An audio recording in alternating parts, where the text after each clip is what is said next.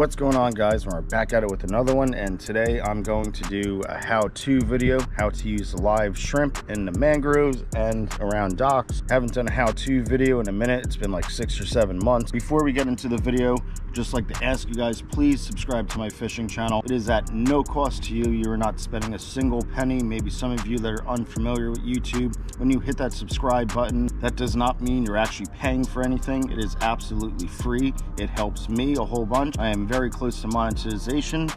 The only part that I'm lacking is the subscribers. So get me up to a thousand subscribers so I can get this channel on a roll. I like to do some other fun, exciting things for this channel. It'll get me out to other places around the country, around the world, chasing different species. And it'll let me be more consistent with posting videos and I'll be able to purchase better camera equipment for better quality videos. So it's a win-win for everyone. I get to go to other places around the country and the world fishing. You guys get to sit back and enjoy it, learn something, and have fun while watching it. So please take a moment and hit that subscribe button on the bottom right hand side of your screen and I'll greatly appreciate it. Now let's get into the video. I'd just like to point out everything that I'm using today you sell at Rose Marina. Everything from the leader material, which is 40 pound Yo-Zuri pink fluorocarbon, to the fishing rod. And this rod right here is a Bull Bay Banshee, 7 foot 4, 10 to 17 pounds. I sell these at the store as well. The fishing reel, which is a Shimano Stratic 4000. The braided line, which is 30 pound chartreuse J braid to the hook that I'm using today, which is Yellowtail Candy Jigs. It's 1 8 ounce white Yellowtail Candy Jig. By the time you're watching this video, should have received a whole shipment more of these Yellowtail Candy Jigs, just like what you're seeing right here. But first, I'm gonna show you how to tie a loop knot. We're gonna start off with our leader material. Here's the tag end. We're going to create a loop, a half hitch, and pull it tight but not all the way tight and that's what it's going to look like right there. So now you have your leader a loop and now your tag end. To leave yourself a little bit of tag end so you could finish off this basic loop knot. Thread our tag end into the eye of the yellowtail candy jig. We're going to bring the eyelet of the jig to the loop that we just made and we're going to take our tag end and wrap around our leader four times. One two three and four times and now you have your tag end here. You're gonna take your tag end and you're gonna go back through the loop that you made before. And that's what it's gonna look like right there. Now you're just going to cinch it down just like that. You wanna cut a little bit of this tag end off. You wanna leave some tag end exposed. So it's gonna look something just like that. A little bit of tag end exposed just in case you get a bigger fish and it pulls the knot tight and my tag end doesn't go right through and a knot fails. And like I said, we're gonna be using some live shrimp today and I'm gonna show you how to rig that in just a second. We're gonna show you how to rig up some live shrimp and you can purchase these live shrimp at Rose Marina. You go directly to the boat rental building, tell them how many dozen you want, and we sell them for $5 a dozen, or you're more than welcome to come in to see me, Eric, inside the tackle section of the Island Coastal Outfitters store, and I'll be able to sell you everything that you just saw me explaining to you, and I'll also be able to add your shrimp onto the receipt, and you just present the receipt over to the guys over at the boat rental building. Now I'm gonna show you how to hook a shrimp. So I'm gonna hook the shrimp right in this hard part of the tail, right above the fan. I always describe it as where you grab a cocktail shrimp, right where your thumb and index finger goes. We're gonna put the hook point in one side and go right out the other. Just as simple as that. So it's gonna look like that. It's nice and streamlined with the shrimp and the shrimp's still gonna be able to dart backwards and do his thing. Now if you hook the shrimp in the middle of the body, uh, the shrimp kind of just goes down to the bottom and flops on the side. It doesn't look so natural. I'm not a big fan of hooking it in the head. You could certainly do it that way. And if you have more success doing that, by all means, stick to the way that works for you.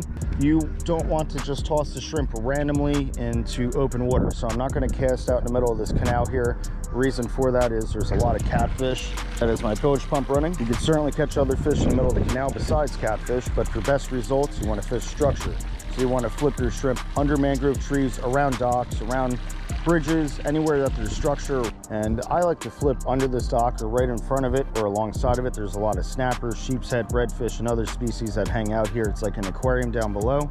So I'm just gonna do a sidearm cast. I'm not gonna cast overhand like that. If I cast overhand, I'm obviously gonna cast it over the dock, get it snagged up. So we're gonna cast sidearm, just like that and flip the shrimp or pitch the shrimp right underneath that dock. I like to leave my bail open and you could put it in a rod holder with the bail open or you could sit here like I do with my finger on a line and wait for the bite. Once you get a bite, you wanna let the fish take it for two or three seconds. You're gonna close your bail, reel down tight, set the hook, and get him away from that structure as soon as possible. But now let's wait for the bite. We are getting our first bite here. Just had the line pulled pretty good. I'm gonna give it a second, make sure the fish is still there. I'm gonna close my bail and reel down, and we got something. Feels pretty good. Oh, he came off. He came off. It was a pretty good fish. I don't think that was a snapper. Really think that was a redfish. But we're gonna get another shrimp on, and we're gonna toss right back underneath. Have another bite happening here. See the line coming off the spool. I'm gonna close my bail. I'm gonna reel down, set the hook. He's wrapped around some pilings though. See if I can get him out. It's just a little snapper. It's definitely not a keeper. He might be close, but I'm not going to keep this guy. He's a little small, in my opinion. He's probably just at that 10 inch mark, but this is the result right here if you do exactly what I just said. And we're going to toss this guy back in and we're going to get another live shrimp on. See ya. Okay, I'm getting another bite here. Close the bail and he's not there. That's okay. Whatever it was, probably just a smaller snapper, bit the head off the shrimp. Since this is a fresh shrimp, I'm going to still toss it underneath that fish might come back to it. Like I said, the fish might come back to it, and it has, and it's swimming this way with it. So I'm gonna reel down, get him out from those mangroves. Doesn't feel huge. It's another snapper. Oh no, it's a Mayan cichlid.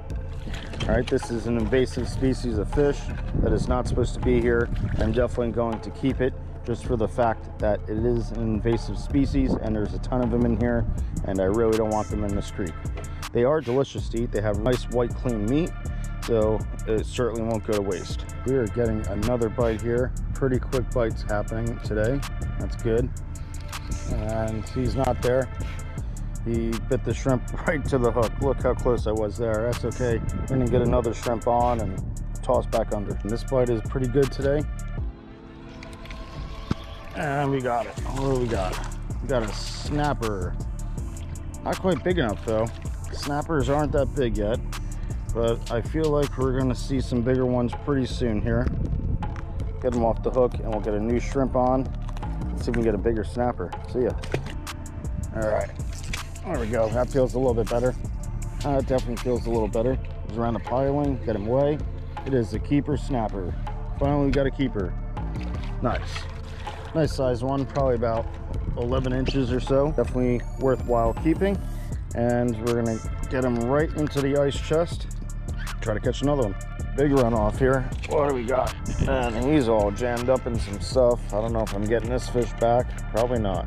I don't even know if he's still there is he? Best thing to do in this situation is to open up your bail whatever it was just dumped out a whole bunch of line really really quick. But i have a feeling that I'm probably gonna have to break off because there's a whole bunch of broken up pilings and lumber underneath this dock. This was a hurricane special from Hurricane Irma. That's why it's so good, but you get snagged up real easy. Yeah, I don't think I'm getting this back. It is, it's part of the game though. When you fish structure like this, something like this is gonna happen. And I'm doing a total 360 of my boat here.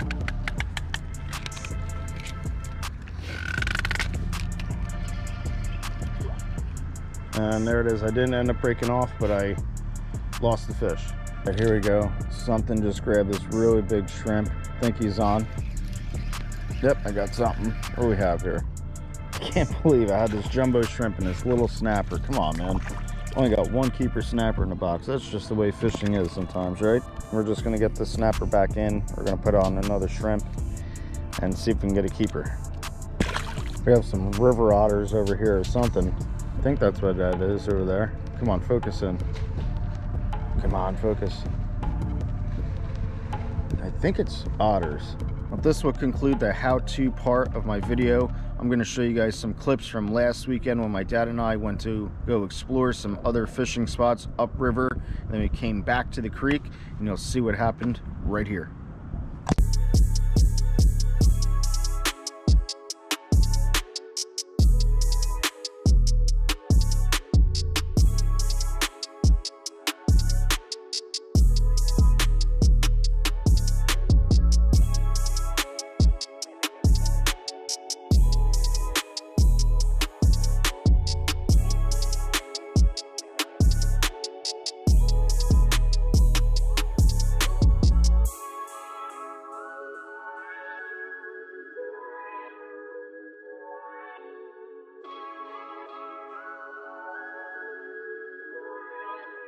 Day started off a little rough. It's like 3.30.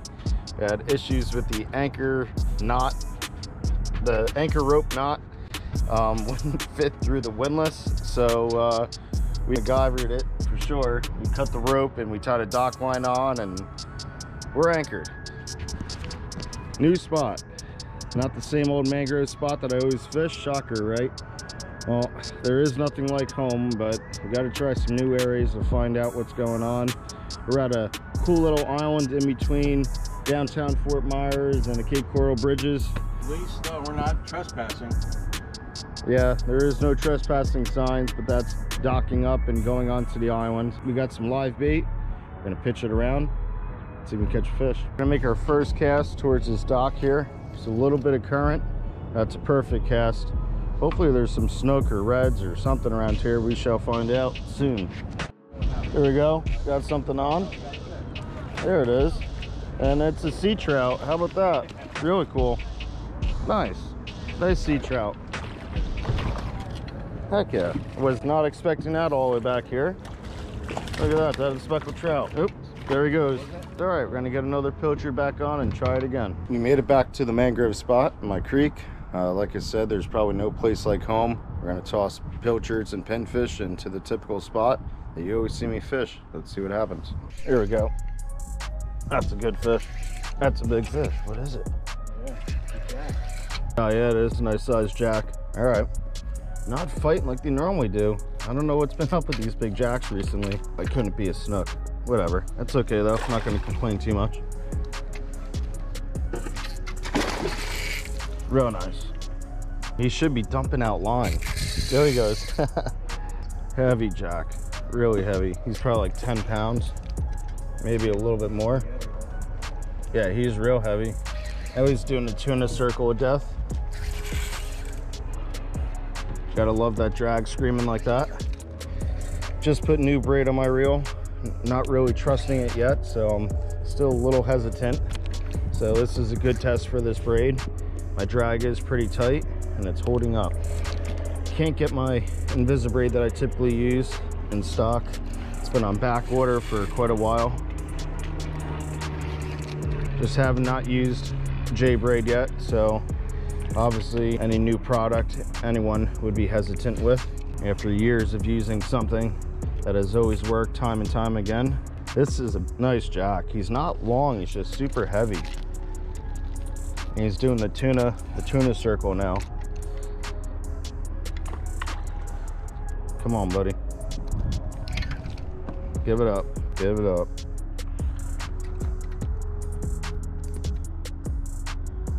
It's exactly what a tuna does. Goes underside and just swims in circles. They call them canal tunas, Jack. Oh, yeah. Jeez, he does not want to give in. He's not even that big. That's the thing. like he's a nice sized fish, but he's not like a giant jack. Come on, game over.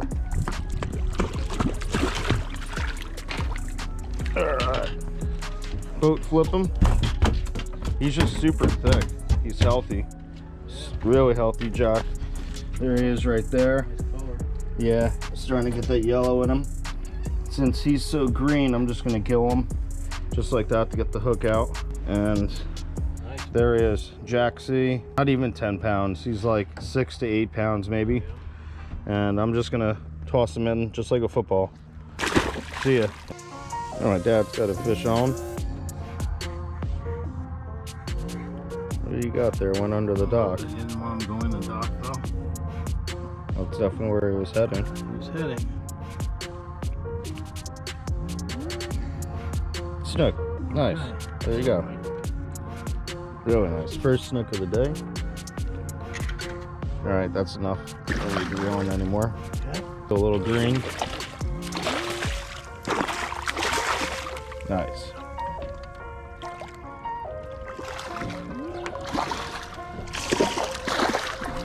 Nice fish. Not bad at all. Yeah. 28.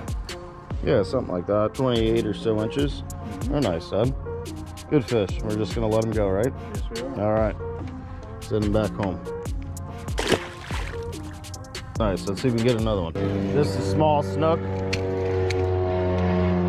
We got an airplane overhead here. but just a little snook, nothing too big. But still, my first one of the weekend, so I am excited. Hard fighting little guy. Acrobatic. Come on. All right. Gotta say, there really is nothing like home, huh? Little squeaker, like 18 inches. We're gonna get him right back in. Let's get another one. Reel down. He's gone, right? No, what is it? Oh, snapper. Snapper. Mangrove snapper. Man, it was taking line real quick there. All right, nice keeper mangrove snapper, but we're gonna let him go. I think we got another fish on here. Fish on. Fish Yep. on. Double header. Double Two at the same time. header. Oh yeah, I got a snook. What do you got, Dad? I don't know. Pretty good. Pretty heavy. All right, you got another stingray? Pretty heavy. Yeah, it might be a stingray. Come on. All right, I I definitely have a snook here. Wow. I don't know what my dad has. Mine's pretty heavy. Jesus. It might be a giant stingray. What do I got? Stingray. Oh, Oh, I've seen that stingray before. I've caught him. He's a safe one to touch. He doesn't have a tail. wow. I've caught the stingray that my dad just caught here. Actually, a couple times. You see him in one of my how-to use live shrimp videos. And I got just a medium, medium-sized snook, like a 24, 25 inch snook. There he is, 24, 25 inch snook. We're gonna let him go. And there it is. Wow, that fish is like way the heck. I'm getting out too. Wow, I got him out from that. I don't know how the heck I got him out from that. But he was way back there. Not a big snook at all. But he was way, way back there. I mean, he swam all the way to the left, then all the way to the right, and I got him back. And there's that airplane again. Airplane's always good for the audio and the video. They're all like the same size this evening. They're not, not big at all. Still a snook though, and he came right off the hook. Perfect. Please don't forget to like this video, leave some comments, and subscribe to my fishing channel. I'd like to thank you for watching this video. And my friends, always stay fishing, and we'll see you on the next one.